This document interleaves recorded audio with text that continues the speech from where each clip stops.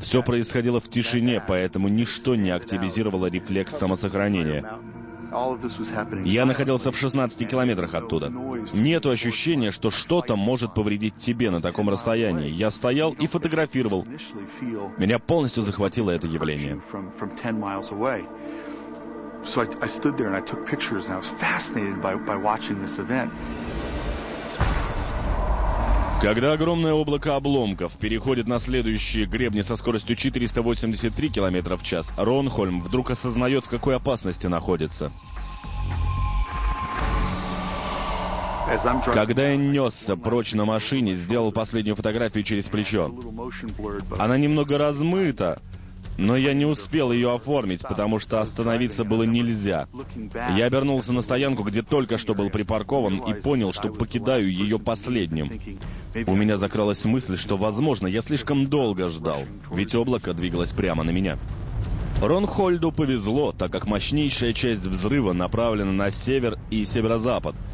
Часть, идущая на него, менее энергична, и ему удается скрыться вниз по горе. Боковой взрыв вышвырнул пепел и газ на высоту 24 километров. Менее чем через час вертикальное извержение выбрасывает еще больше пепла вверх.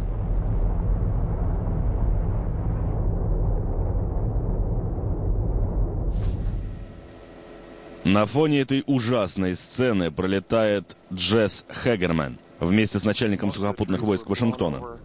Большинство деревьев просто пропало в результате извержения. Не забывайте, мы говорим о радиусе в 30 километров от горы Сент-Хеленс. Ландшафт совершенно изменился. Я почувствовал себя букашкой, летающей по Вселенной, потому что в сравнении с размером извержения это удивительно. Удивительно и ужасающе.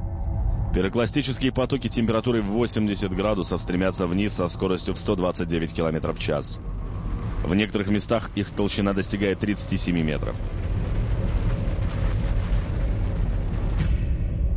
В самом начале катастрофы масштаб разрушения на фоне ландшафта невозможно было объять.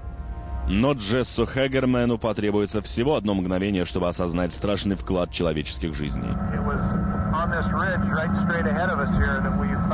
На первом хребте мы нашли двоих выживших. Это были Джим Скеманский и его партнер Леони Спиринов. Мы забрали этих двоих людей. Леони умер в больнице, как только мы доставили его, а Джим все еще жив.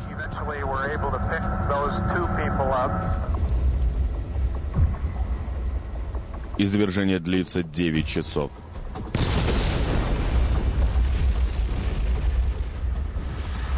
Ученые пытаются оценить масштаб извержения.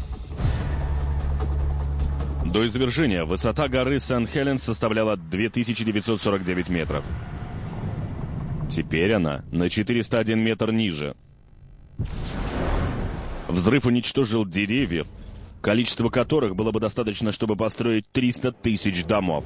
Тысячи бревен все еще лежат в пяти километрах от места действий.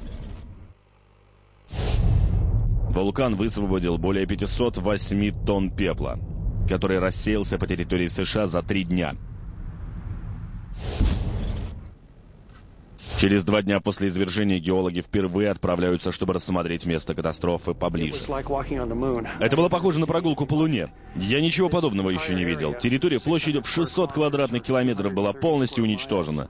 Ни одного насекомого, птицы или животного. Все было только одного цвета, цвета осадков, серого. Земля была покрыта горячими камнями, из земли вырывался газ и дым. The ground was covered with hot rocks, and there were fumes and hot gases coming out of the ground all over the place. В течение месяца после извержения группы экспертов внимательно изучают каждый миллиметр горы. Удивительно, что грохот извержения слышали жители Канады, а свидетели, как, например, Кейт Ронхольм, всего в 16 километрах от события не услышал ни звука. Так как при повышении высоты температура воздуха в атмосфере понижается, звуковые волны взрыва уносятся далеко от поверхности Земли. И когда они достигают стратосферы, где температура снова повышается, они отражаются обратно. Поэтому никто в радиусе 96 километров от горы Сент-Хеленс не слышал извержения 18 мая. Начиная с 1980 года на этом самом месте